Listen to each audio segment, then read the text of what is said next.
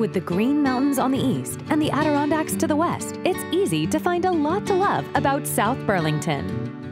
Located in Chittenden County with a population of nearly 20,000, residents are very active in their community.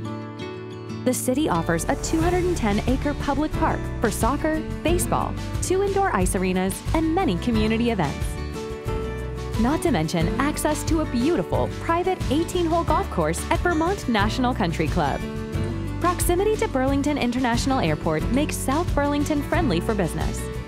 The city also offers easy access to Interstate 89 and is a regional center for hospitality, manufacturing, and retail.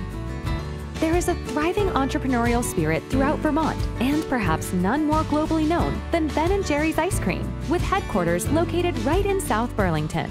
Foodies can also enjoy great dining options with exceptional local restaurants throughout the area, the newly developed city center provides an exciting downtown core and public library, while South Burlington High School was ranked number one by U.S. News with high marks for academics, diversity, and college prep, not to mention statewide recognition for their sports teams.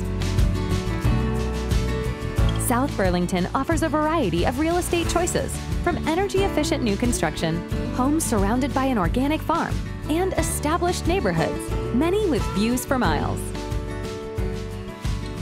There's no shortage of things to do with downtown Burlington a short distance away and world-renowned skiing or hiking within an hour's drive. South Burlington is a vibrant city to live, work, play, and learn.